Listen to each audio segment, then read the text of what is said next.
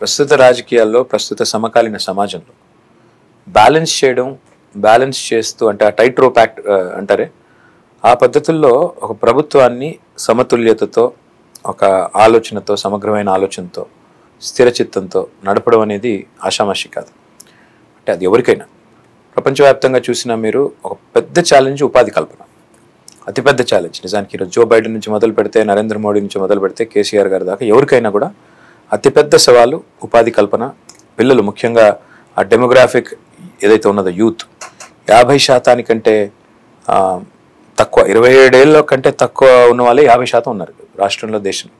So ఇలాంటి పరిస్థితుల్లో ఒకవైపు వాళ్ళేమో ప్రపంచాన్ని రోజు యూట్యూబ్ ద్వారా ప్రపంచాన్ని రోజు వాళ్ళు ఇంటర్నెట్ ద్వారా చూస్తున్నప్పుడు ప్రపంచవ్యాప్తంగా వస్తున్న పరిణామాలు గమనిస్తున్నప్పుడు మన దేశంలో ఆ పరిణామాలు సంభవించట్లేదే ఇక్కడ అనుకున్నంత యాక్సిలరేటెడ్ గ్రోత్ లేదే అనే ఒక నిస్పృహలోకి నెట్టవేయబడుతున్నప్పుడు how do we keep up అంటే యాజ్ యాజ్ గవర్నమెంట్స్ ఒకవైపు ఈ బ్యాలెన్స్ చేస్తూ వెల్ఫేర్ డెవలప్మెంట్ బ్యాలెన్స్ చేస్తూ హోప్ అనేది నైరాశ్యంలోకి పిల్లలు పోకుండా నిస్పృహలోకి పోకుండా ఎలా బ్యాలెన్స్ చేస్తారు? ఎలా చేయాలి? ఎలా చేస్తే బాగుంటుంది? ఇది బహుశా మన దేశంలో మన డెమోక్రసీలో ఉన్నంత ఛాలెంజ్ ప్రపంచంలో ఎక్కడా లేదు. ఎందుకంటే మనకి ఇప్పటికి కూడా యాభై నాలుగు కోట్ల మంది వర్కర్స్లో eighty five ninety percent unorganised sector రెక్కడ తగ్గంటే ఒక్కడిన వాళ్ళు ఇంకా బేదరికం మనం ఉన్న కొద్దిగా పరిస్థితి బాగుపడుతున్నా కూడా మీరు అన్నట్టుగా Telangana per capital company highest ఉన్నా కూడా ఇంకా ఈ దేశంలో చాలామందికి రోజువారీ అవసరాల్లో కొంచెం కష్టం అన్నది. అందుకని నేను మన యువతని మన కుటుంబాలను కోరేది ఒక్కటే.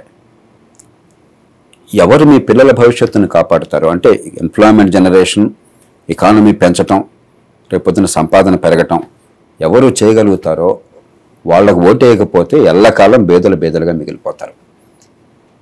ఈ బ్యాలెన్స్ ఈ దేశంలో అంత తేలిక కాదు.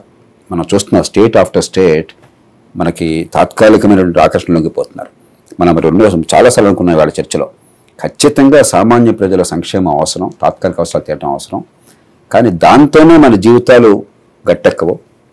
అంచేత ఇంకొక అపప్రథ ఏముందంటే మీరు చెప్పినట్టుగా సినిమాల వల్ల కానీ పత్రికల వల్ల కానీ రాజకీయం అందరూ దొంగలే అందరూ ఒక్కటే అనుకుంటున్నారు. అది కాదు. రాజకీయంలో చేస్తున్న తీరులో సమానంగా అనిపిస్తున్నప్పుడు కూడా పార్టీల విధానాలు వాళ్ళు చేసే పనులు దాని పర్యవసానాలు మన జీవితాలను తీవ్రంగా ప్రభావితం చేస్తాయి. ఇది నమ్మాలి మనం. అందుకని మనకి కొన్ని సందర్భాల్లో బాగోలేదు అనుకున్నా కూడా ఉన్న వాళ్ళల్లో చాయిసెస్ ఉన్నాయి. ఏ చాయిస్ ఎంచుకోవాలి?